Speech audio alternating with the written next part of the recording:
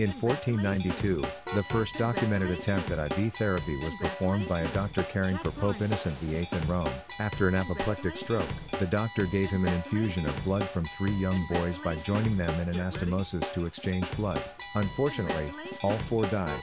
The cholera outbreaks throughout Europe in the late 19th century propelled the evolution of IV therapy forward.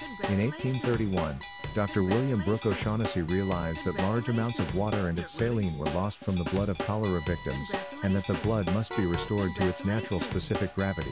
1845 The hollow needle was perfected, and the first hypodermic syringe was used in 1855. In the late 1800s, the introduction of anesthesia during surgical procedures paved the way for safer surgery in the 20th century, and IV fluid administration was gradually adopted in postoperative treatment regimens.